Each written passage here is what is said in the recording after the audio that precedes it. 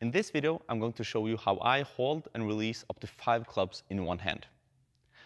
One thing that's important to remember is that this is the way that I do it. And there are multiple ways to hold three or more clubs in one hand, even multiple ways to hold two clubs in one hand, uh, as I'm going to show you later. So this is just a suggestion and not the correct way to do it. But even though there are no grips that are correct or wrong in any way, I personally believe that there are some grips that are better than others. And that's what I'm going to show you in this video. To start off, with one club, it's as simple as this. Just hold it right in the middle of the knob and the ring.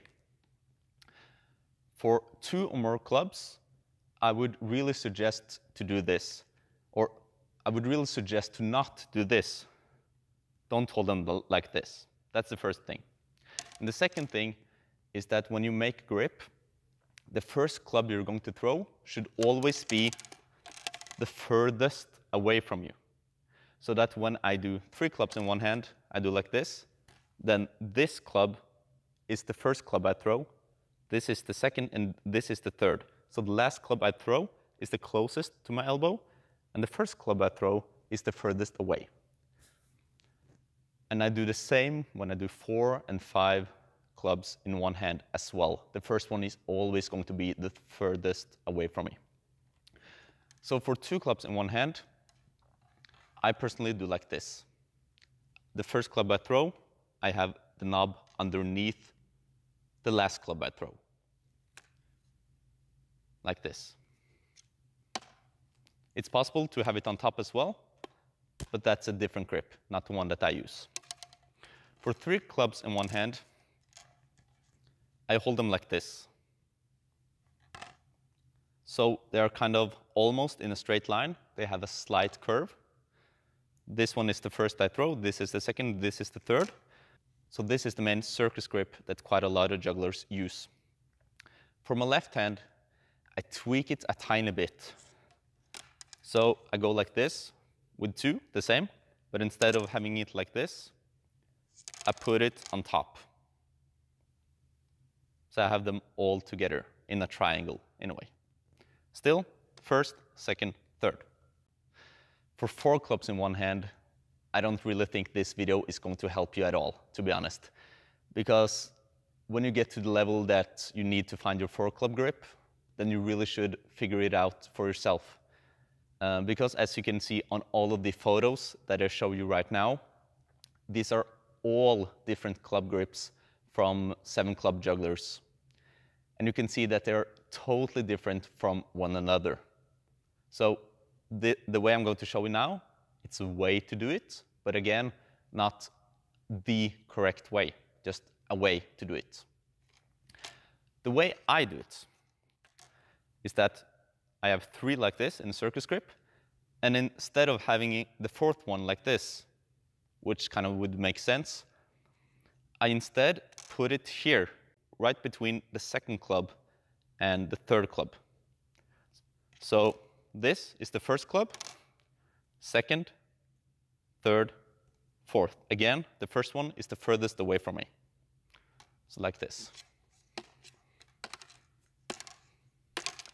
I usually catch them like that as well in my left hand, but in my right hand, I typically catch them like this with the knobs on top.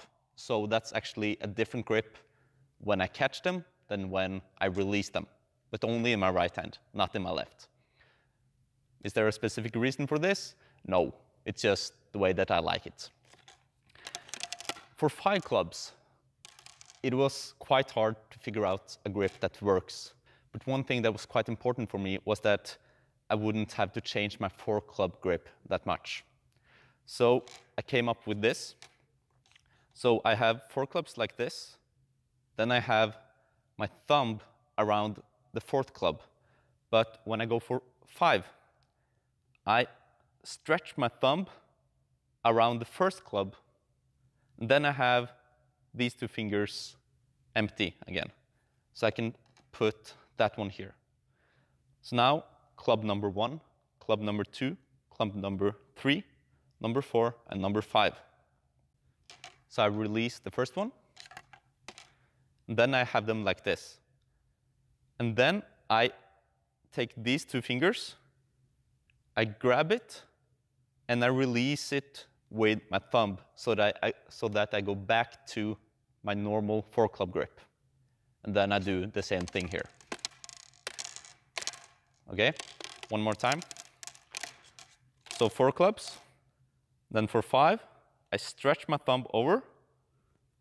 So I don't put them together like this.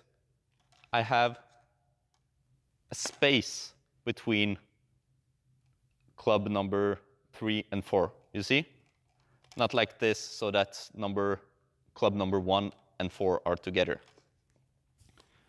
So here and there. One, change, two, three, four, five. And I do the same in my left hand. But what about six clubs? Is that possible? Mm, I would say that a six club grip is possible, but it's not easy. And um, I think that when you get to the level that you can try 11 clubs, then most likely the, the grip wouldn't be the biggest problem. But of course, the pattern itself and also collecting all of the clubs. But if I were to do six clubs in one hand, I would do like this. So my five club grip, and then I would twist it a little bit and have it here. And that almost works.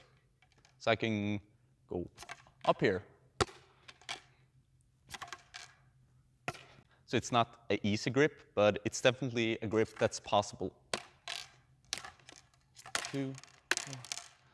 Um. Thank you for watching.